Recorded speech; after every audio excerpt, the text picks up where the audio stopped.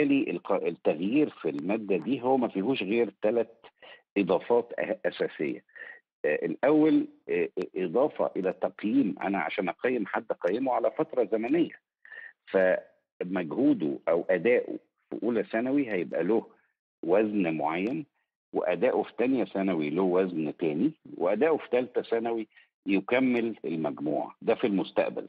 وده لن يطبق بأثر رجعي وبالتالي بعد ما القانون يخش مجلس النواب وتتم مناقشته وإقراره يطبق على الدفعة اللي هي النهارده في الإعدادية ورايحة أولى ثانوي إن شاء الله الخريف القادم اللي هو 21 يبقى أي حد في المرحلة الثانوية لن يطبق عليه موضوع المجموع يعني لو. مجلس النواب الجديد أقر هذا هذا التعديل أقر التعديل ده تبدأ السنة الدراسية الجاية بيه ولا لأ يا فندم؟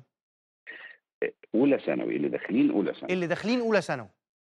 آه، اللي داخلين أولى ثانوي السنة الجاية. آه اللي هم النهارده في الإعدادية. اللي هم النهارده إعدادي. فيبدأوا المرحلة الثانوية على التعديل الجديد بعد إقراره من مجلس النواب.